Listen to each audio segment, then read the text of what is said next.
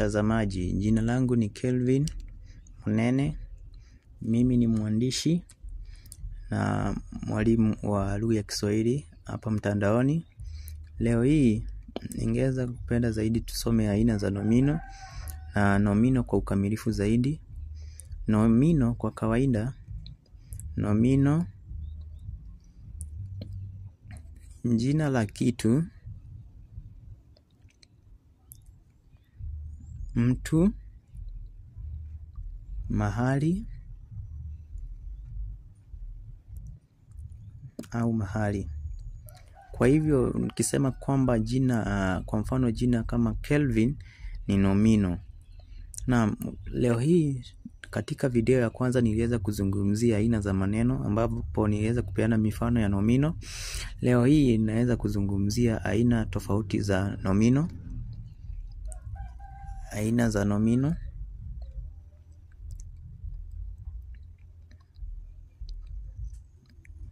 Kuna aina sita za nomino. Aina ya kwanza ni nomino za jumla. Nomino hizo vile vile zinaweza itwa nomino za kawaida. Naam, kwa wengi vijana labda unaweza kujiuliza ni nini maana ya nomino za jumla au nomino za kawaida. Nomino za jumla ni aina za maneno, aina za maneno zinazotanja kitu, zinazotaja kitu bila kukitambulisha, kukitambulisha kwa jina lake halisi.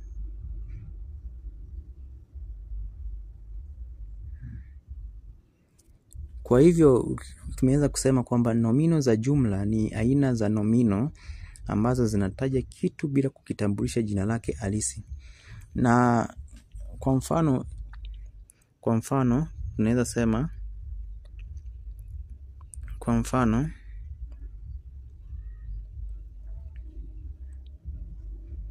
ikiwa ni mji hautambuliwi hautambu hautambuliwi kama Nairobi au tuseme kwa mfano Mombasa. Kwa hivyo majina ambayo ni majina ya nomino za jumla hautaweza kupata majina kama Nairobi au Mombasa kama nomino za jumla.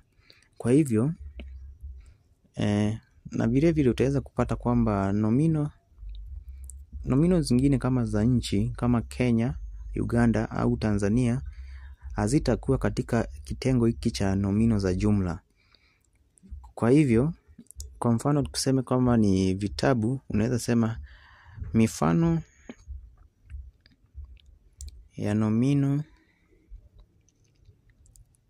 za jumla ni, nitawapa mifano kwa mfano daftari, hilo ni langu. Katika sentensi hii, katika sentensi hii tutapata kwamba neno daftari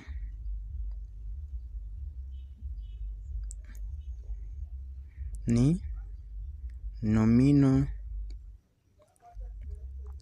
ya kawaida. Kwa, kwa hivyo hatujajua ni daftari ambalo linaandika maswali ya Kiswahili, ni daftari ambalo lina maswali ya ki, Kimombo, daftari ambalo lina hesabu, ni daftari tu. Kwa hivyo hatujaweza kusema ni nomino gani. Kwa hivyo daftari katika sentensi hii ni nomino ya kawaida. Mfano wa pili, mfano wa pili ni mto huu umefurika sana. Katika sentensi hii, katika sentensi hii, katika sentensi hii mto ni nomino ya kawaida. Tunafahamu kwamba kuna mito mingi ambayo inapatikana duniani. Kuna mto kwa mfano mto Tungu, mto Naka, mto Tana, mto Zambezi, mto Kagera na mito mingi ambayo inapatikana bara Afrika na duniani. Kwa hivyo neno mto katika sentensi ambayo inasema mto huu umefurika sana, hatujajua ni mto upi. Unaweza kuwa ni mto Kagera, unaweza kuwa ni mto Tana, unaweza kuwa ni mto Sagana. Kwa hivyo ni nomino ya kawaida ambayo inazungumzia kwamba ni mto wowote, unaweza kuwa ni mto wowote ambao bado haujaweza kufahamishwa kwa mapana na marefu. E, kwa mfano unaweza sema mwanafunzi yule amepotea njia. Kwa, kwa umakini zaidi utaweza kugundua kwamba mwanafunzi yule amepotea njia. Duniani utaweza kugundua kwamba kuna wanafunzi wengi. Anaweza kuwa ni mwanafunzi wa darasa la kwanza, anaweza kuwa mwanafunzi wa chuo kikuu, anaweza kuwa ni mwanafunzi wa chuo cha kawaida, anaweza kuwa ni mwanafunzi wa shule ya upili, shule za msingi. Kwa hivyo hatujajulishwa kwamba ni mwanafunzi yupi. Katika sentensi vile vile utaweza kugundua kwamba mwanafunzi mwanafunzi nomino ya kawaida. Ninaufahamu kwamba umeweza kusoma zaidi katika nomino za jumla. Tunaelekea katika eh, aina ya pili ya nomino. Naelekea katika eh, aina ya pili ya nomino. Naelekea katika eh, mfano wa pili wa nomino. Mfano wa pili ni nomino dhahania. Nomino dhahania. Nomino dhahania ni majina majina ya vitu vya kufikirika kufikirika na wala haviwezi kugusika,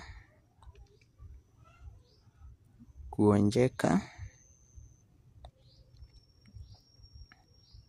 au kuonekana. Kwa hivyo nomino hizo ni vitu ambavyo hawezi kugusa kwa mkono, hauwezi onja kutumia ulimi na huwezi kuviona kwa macho yako. Mifano ya nomino hizo, mifano ya nomino za dhania, mifano ya nomino nomino dhahania, vitu ambavyo tunadhania kwa lugha ya kawaida. Kwa mfano utaweza kupata kuna nomino kama usingizi.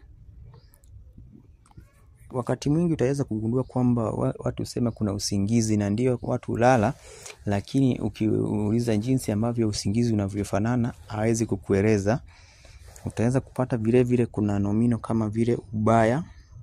Ubaya unaweza sema kwa mfano yule mtu ana ubaya, lakini ukiweza kujiuliza swali kwamba ubaya ubaya unapimwa na, na, na nini, hawezi kuelezea. Ni nomino ambayo inadhaniwa tu, hauwezi kuiona, hauwezi kuiguza na hauwezi kuionja. E, mfano wa tatu kuna uongo. na kwa wakati mwingi tumeweza kujulishwa kwamba kwa wale ambao hupenda dini, uongo unaweza kwamba umeeleza kwamba andamu pale walimdanganya wali Mungu kwamba wakuwa wamekula lile tunda, na uongo uongo uongo, vijana wengi wameweza kufanya uongo ili kupata jambo fulani. Kwa mfano wanafunzi wanaibia mitihani ni uongo, lakini ukiweza ku, kuangalia kwa makini utaweza kugundua kwamba uongo hauna hakuna jambo ambalo unaweza kupima uongo. Kwa hivyo ni nomino ya dhania. Kuna ukweli, ukweli ni kinyume cha uongo. Kuna mfano mwingine kama ulafi. Kuna uchoyo. Kwa hivyo e, mifano ya nomino dhania ni kama usingizi, ubaya, uongo, ukweli, ulafi na ucho, uh, uchoyo. Uh, mifano katika sentensi, mifano katika sentensi, mifano katika sentensi. Naweza kusema kwa mfano,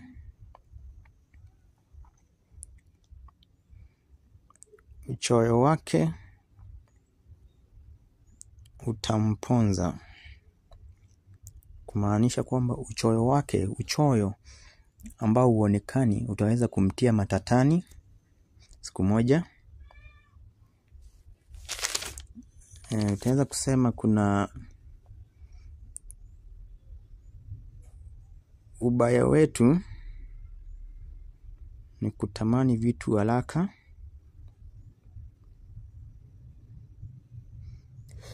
Sentensi hii inaonyesha kwamba ubaya wetu ni kutamani vitu haraka. Inaonyesha kwamba kuna watu ambao hupenda matokeo bora kwa haraka uh, zaidi. Inaonyesha kwamba ni vyema zaidi tuweze kuwa ni watu ambao wanaweza kufanya vitu kwa utaratibu ili tuweze kupata matokeo kwa urahisi. e, aina ya tatu ya nomino, maana tumeweza kumaliza katika kitengo cha nomino za dhania, ni nomino za kitenzi jina.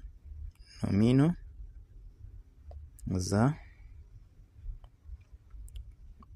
kitenzi jina. Je, utajiuliza kwamba nomino za kitenzi jina ni nini? Labda naam, nomino za kitenzi jina ni ni vitenzi vyenye kiambishi awali kiambishi awali kuu au au vinatumika au tuseme kwa mfano, tuseme nini? Tuseme kwamba ni nomino au ni nomino zinavyo, ni vitenzi ambavyo vinatumika ni vinatumika kama nomino.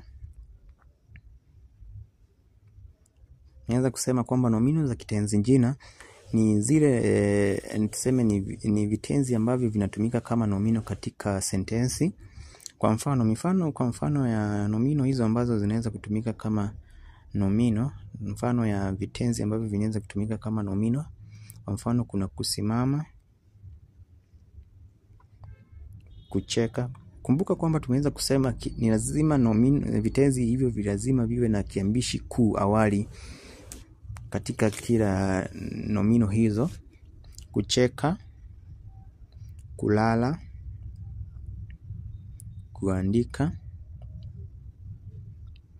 kama ambavyo naweza kufanya kwa sasa. Kute, kutembea, kusoma. Kimsingi unapaswa kuelewa kwamba nomino zote bora ziwe na kiambishi kuu zina uwezo wa kuwa nomino za kitenzi jina.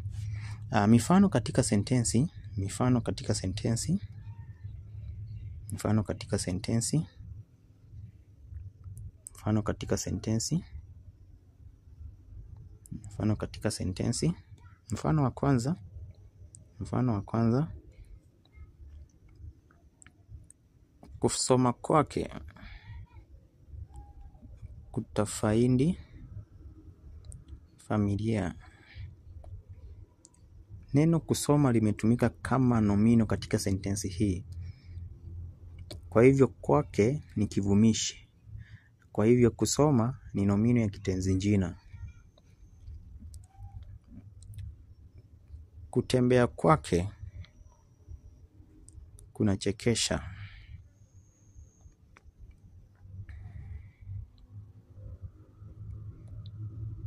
Neno kutembea limetumika kama nomino ya kitenzi jina. Kwake katika sentensi hii, kwake ni kivumishi na kunachekesha ni kitenzi. Kwa hivyo kuna tofauti ya kutembea na kunacheke, kunachekesha. Katika sentensi hii, neno kutembea ni nomino na kunachekesha ni kitenzi. Kutembea ni nomino ya kitenzi jina, kwake ni kivumishi na kunachekesha ni ni kitenzi. Naam, aina ya nne ya nomino ni nomino za pekee. Nomino za pekee. Nomino za pekee ni nini? Labda unaweza kujiuliza kwamba nomino ya pekee ni nini? Nomino za pekee ni aina za maneno, ni aina za maneno, aina za maneno ambazo utanja kitu kwa kukitambulisha kwa kukitambulisha waziwazi kwa kutumia kwa kutumia nini? Kwa kutumia jina au majina yake kamili. Kwa mfano, kwa mfano naweza kusema kwa mfano kama ni mtu unaweza muita jina lake kama Kelvin Munene. Ni jina ni jina langu, kwa hivyo ni nomino ya pekee. Unaweza muita kwamba Julia, naweza muita Hamisi, naweza muita Njuma. Kwa hivyo hivyo ni baadhi ya mifano majina ya watu, ni majina ya watu, majina ya watu. Ni lazima kwamba majina yote yaweze kuwa ni majina ya watu ambayo ni kamili. Kwa mfano ukizungumzia mtu ambaye ni tofauti na watu ambao wengine, ni lazima ujulishe jina lake kamili. Kelvin Monene, Julia, amisi ni majina ya nomino za pekee. Vilevile vile inaweza kuwa ni majina ya mito, majina ya mito, majina ya mito. Kwa mfano kuna mito kama mto Tana, mto Tana, mto Zambezi, mto Sagana, mto Kagera. Vile vile kuna majina ya maziwa, majina ya maziwa, majina ya maziwa. Kumbuka ziwa si yale ya maziwa ya kukunywa, the lakes kwa jina la kimombo ziwa. Kwa mfano kuna ziwa Victoria, ziwa Victoria, kuna ziwa ziwa Naivasha, ziwa Turkana, kuna ziwa Magandi. Vile vile kuna majina ya walimu, majina majina ya walimu. Vile vile tunaweza kusema Mwalimu Nyerere, Mwalimu Munene. Baadhi ya mifano ya nomino za pekee. Baada ya hapo tunaweza kuzungumzia aina ya tano, aina ya tano ya nomino.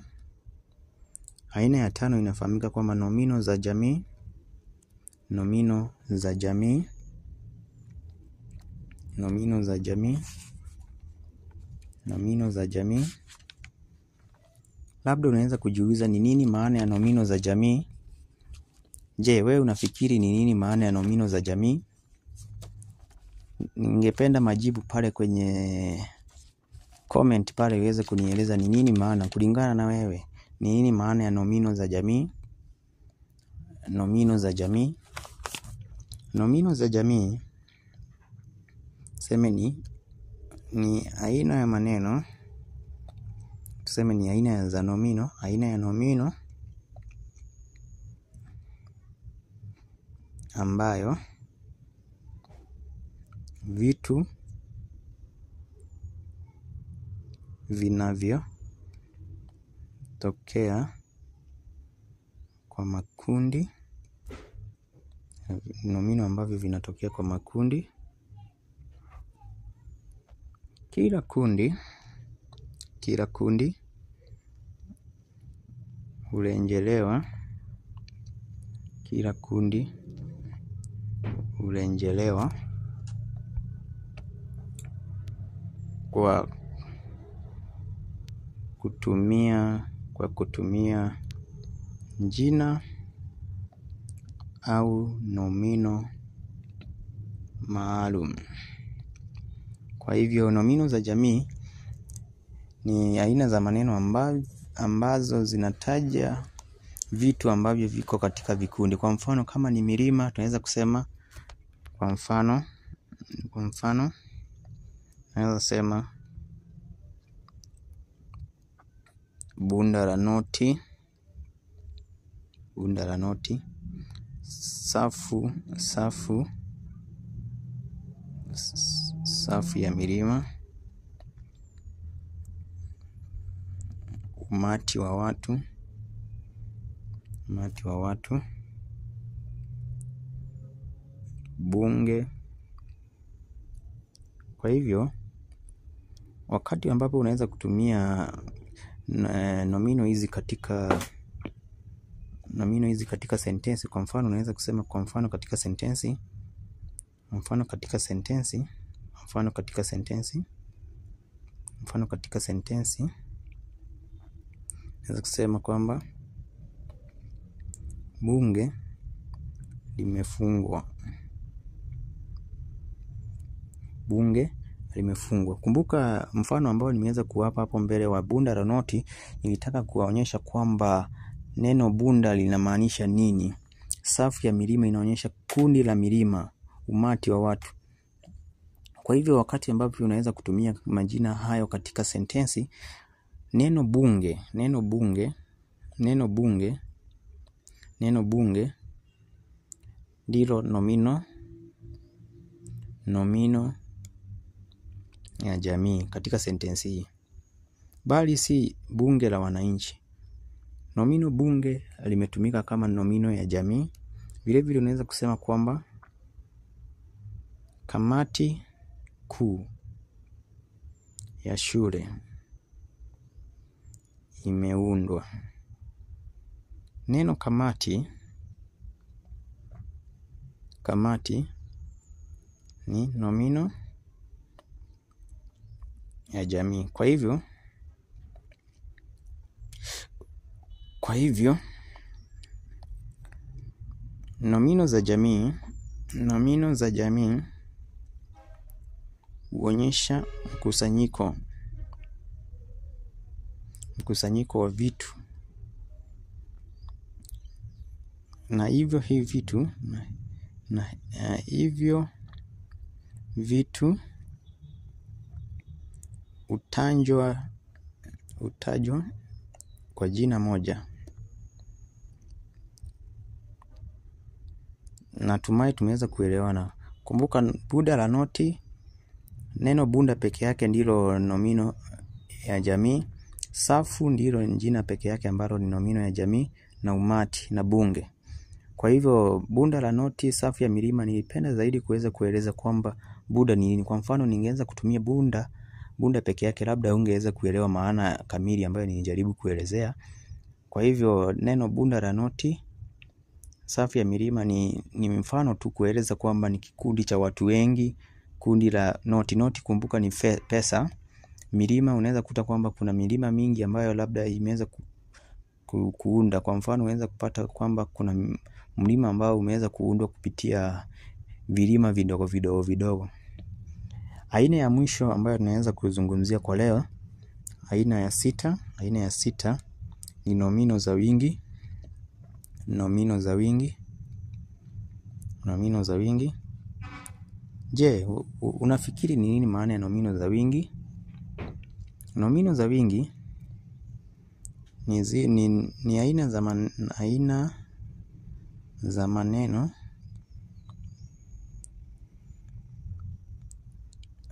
ambazo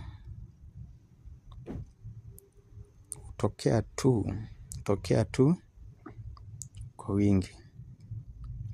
Kwa hivyo hizi ni nomino ambazo zitokea kwa wingi, nomino za wingi, nomino za wingi, ni nomino za wingi. Kwa, kwa hivyo havina umoja, ni nomino ambazo zinapatikana katika hali ya wingi. Jambo jingine ambacho unapaswa kujua zaidi kuhusu nomino za wingi ni kwamba nomino hizi nomino hizi nomino hizi haziwezi kugawika ili ziwe kitu kimoja kimoja kimoja. Nomino ambazo hazina wingi. Kwa mfano, kwa mfano naweza kupata kwamba kuna maji, chumvi, sukari, asali, labda mate,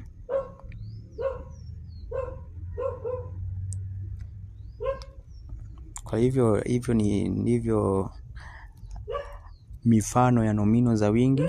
Asante sana kwa kuweza kufuatilia kipindi cha leo ambapo tumeweza kuzungumzia kuhusu nomino na aina za nomino kwa ukamilifu. Video itakayofuata tutazungumzia kuhusu vivumishi, na usiweze kutoka hapa bila kuweza kusubscribe ili tuweze kuendelea kukua, na naamini kwamba tutaweza kuzungumzia zaidi na tusome zaidi lugha ya Kiswahili. Kuwa na siku njema.